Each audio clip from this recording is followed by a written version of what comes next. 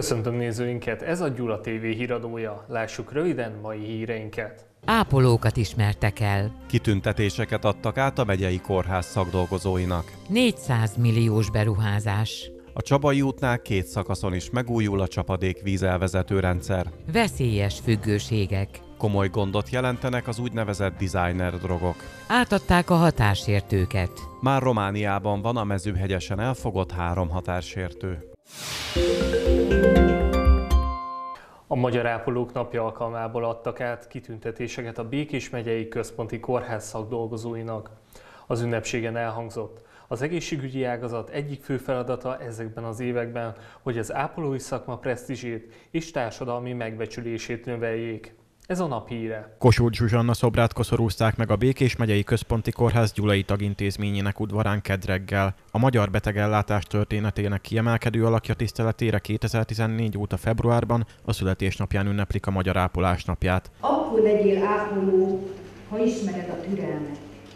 Ha másoknál benned sokkal többet szeretet. A gyulai ünnepség a koszorúzás után a kórház árvai termében folytatódott, ahol elismeréseket adtak át.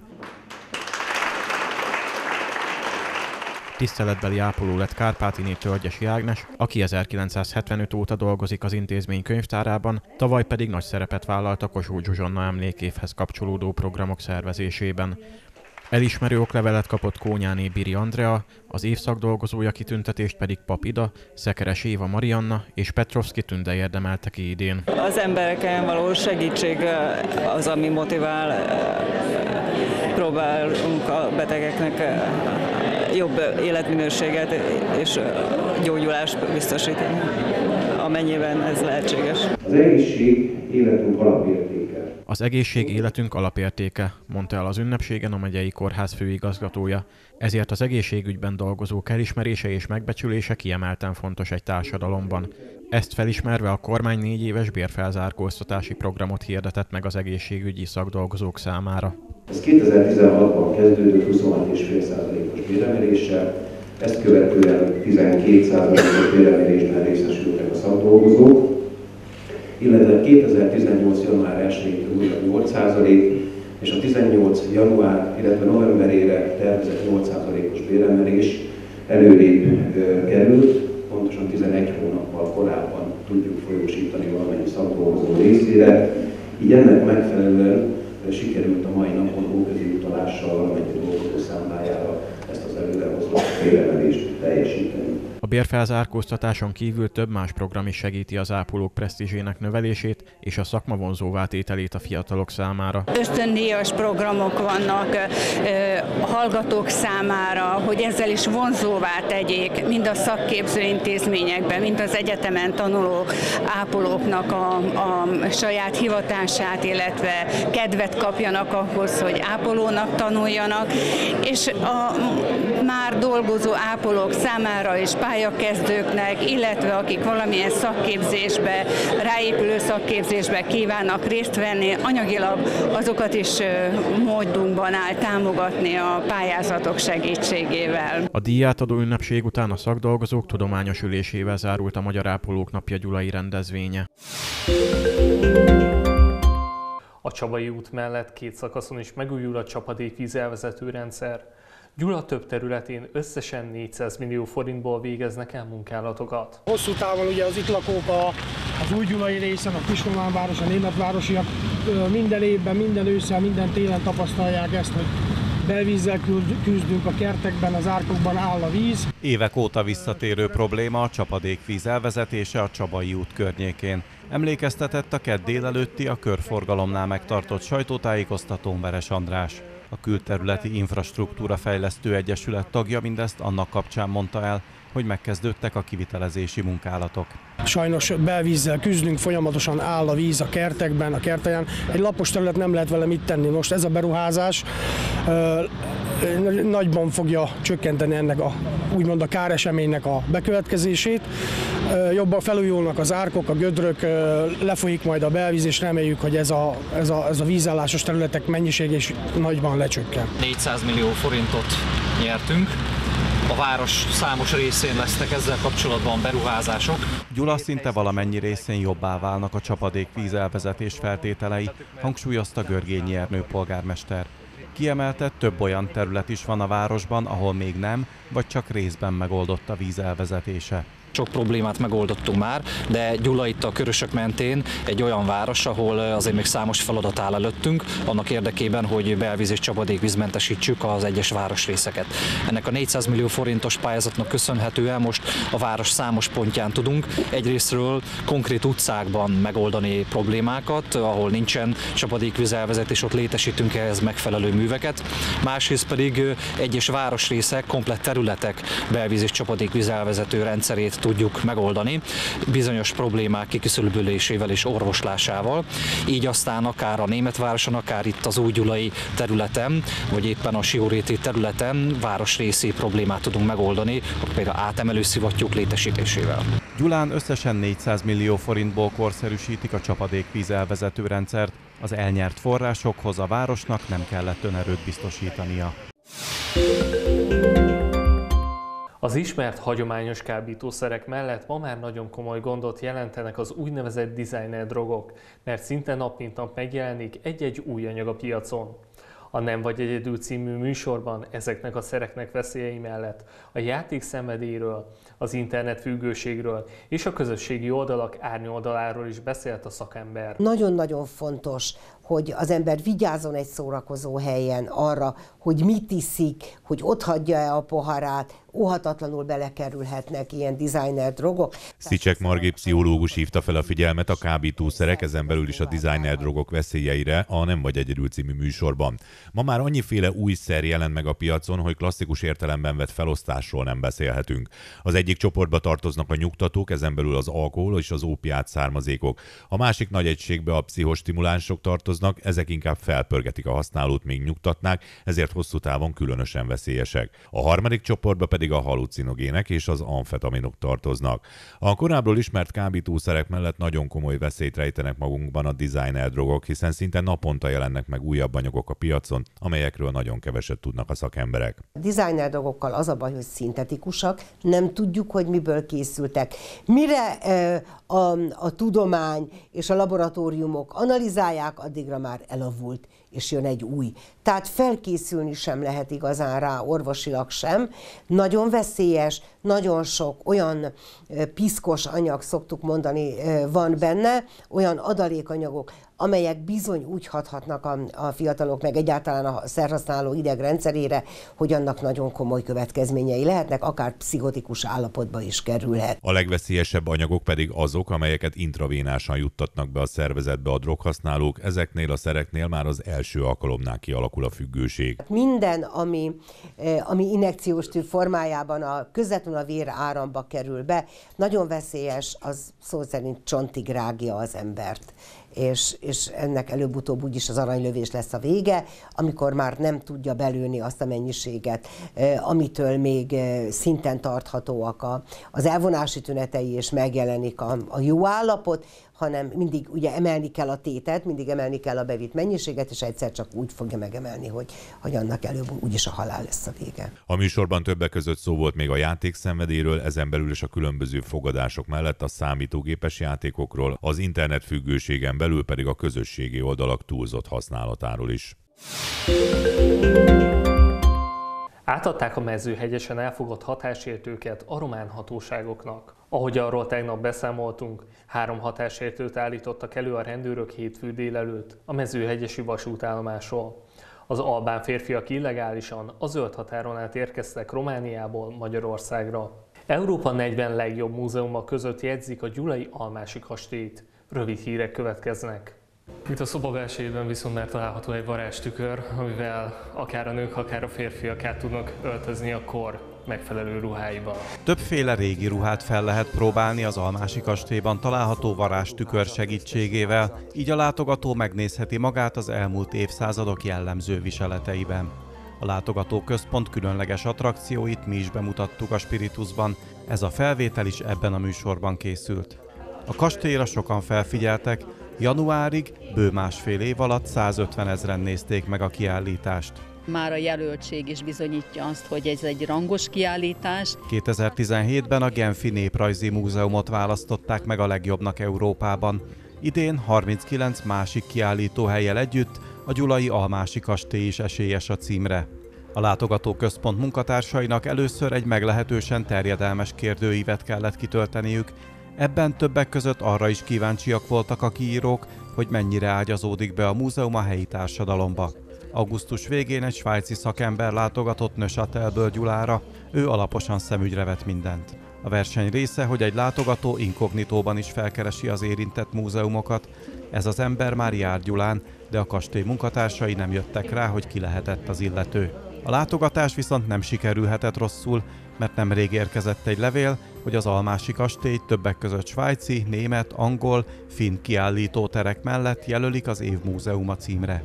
Don Bildikó azt mondta, akkor sem szomorkodnak majd, ha a 40 legjobb között már nem érnek el semmit, de szeretnének az év európai múzeuma lenni.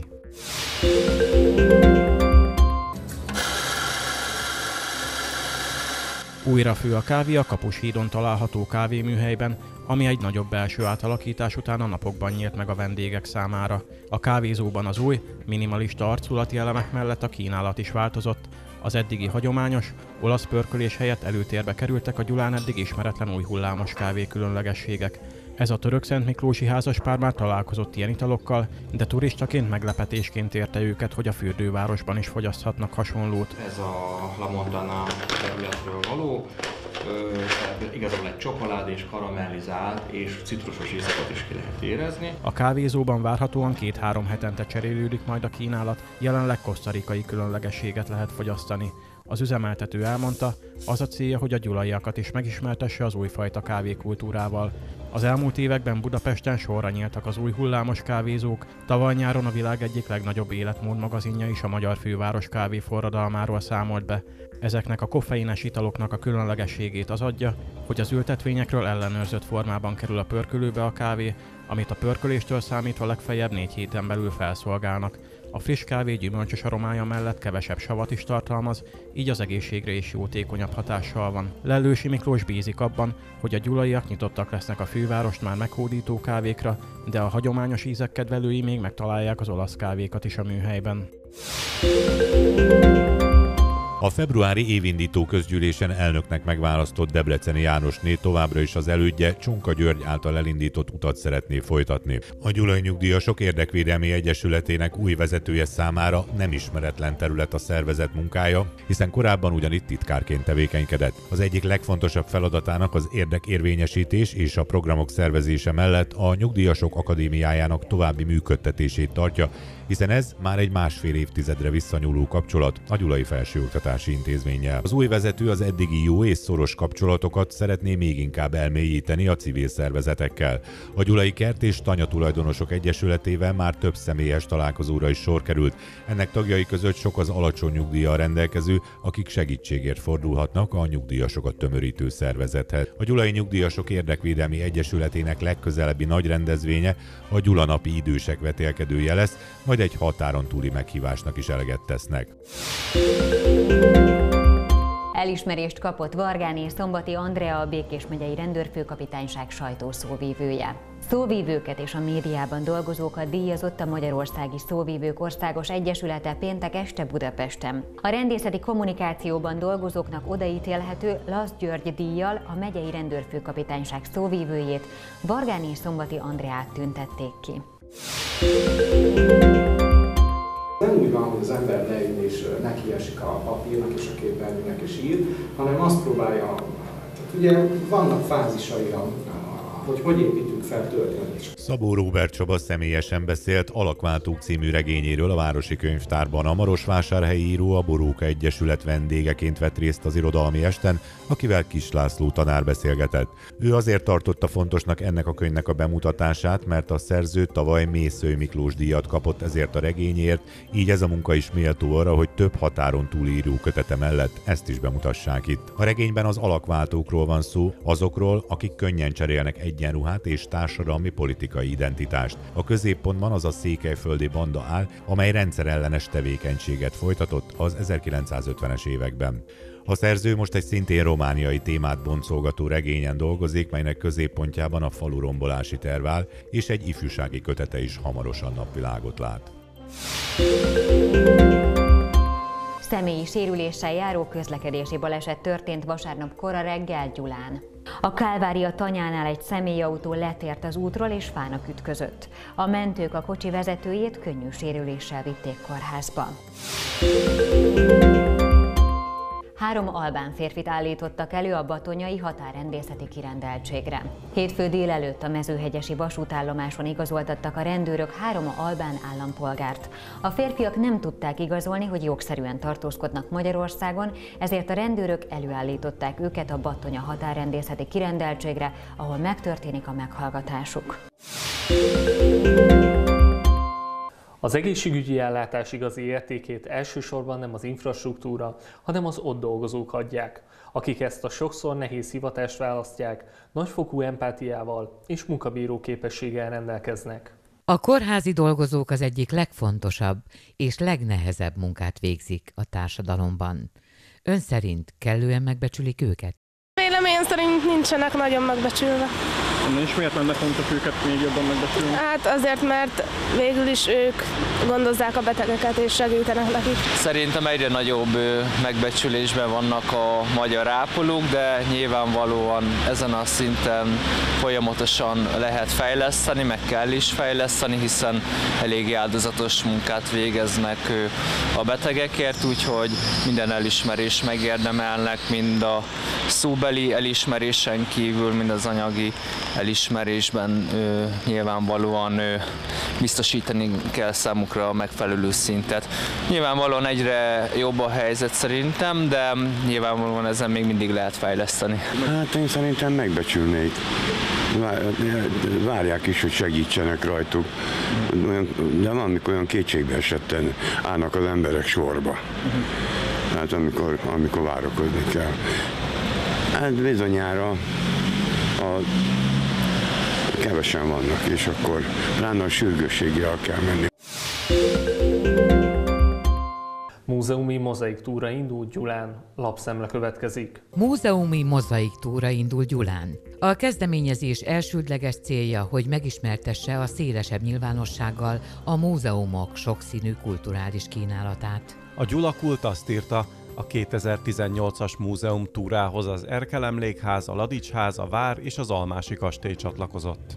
Korlátozzák a klórpirifosz használatát. Újabb korlátozások léptek életbe a klórpirifosz hatóanyagtartalmú növényvédőszerek esetében, írta a békési járások.hu. A 2015-ös többek között az almát, a paradicsomot és a paprikát érintő korlátozás után most már a kukoricában és a búzába sem lehet használni ezt a vegyszert. Medvenap az óvodában. 2009 óta rendezik meg a Békési Bóbita óvodában a Medvenapot. A Békési Újság azt írta, az idei tizedik rendezvényre számos óvodapedagógus és tanító érkezett, még Gyuláról is jöttek.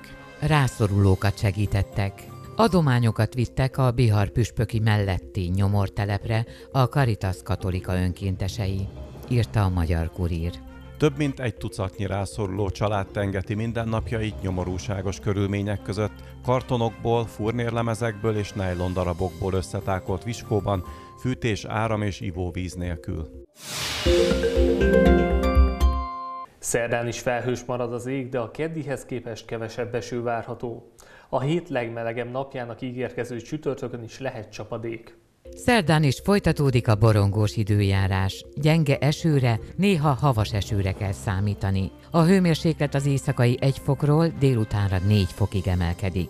Csütörtökön borult marad az ég, és várhatóan csak jelentéktelen csapadék fordulhat elő. A hőmérséklet mínusz 1 és 6 fok között változik.